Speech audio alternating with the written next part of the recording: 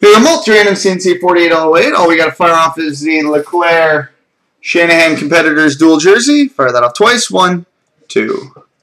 The Red Wings. So there you go, boys and girls, children of all ages.